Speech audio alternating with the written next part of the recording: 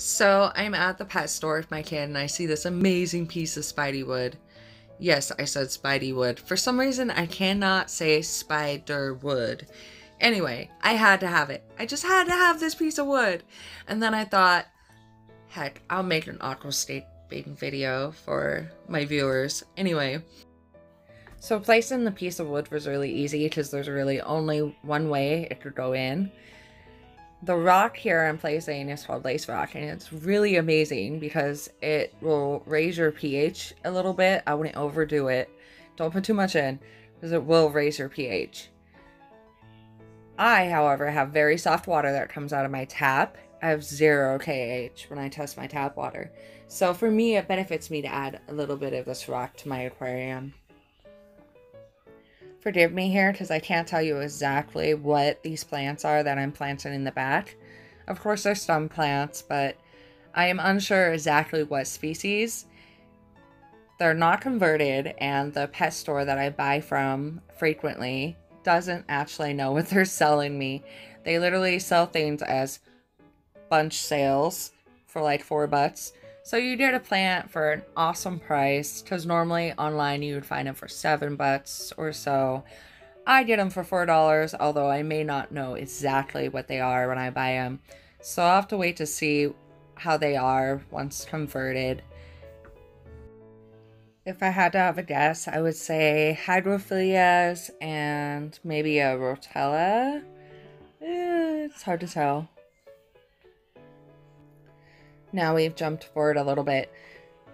So the reason why I chose stem plants for the background was because they're not real heavy root feeders. So if I want to change it up or move them around, it's not as big of a deal compared to if I like plant some swords or val or any of those ones that really get rooted. It won't make such a mess to move them.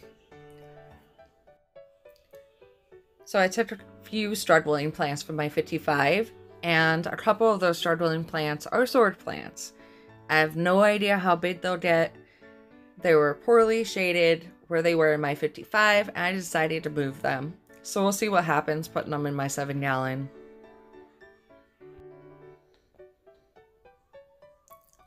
At this point I decided that I didn't really like where I placed the second sword plant.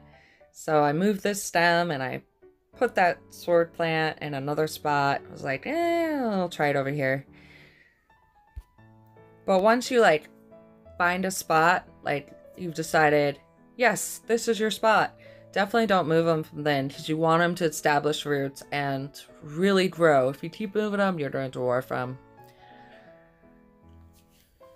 So here's a plant I've never tried before. It's called Rotala Bonsai, and it is absolutely beautiful and gorgeous in Google Pictures when you search for it. It's supposed to be an intermediate plant that requires medium to high lighting and benefits from CO2.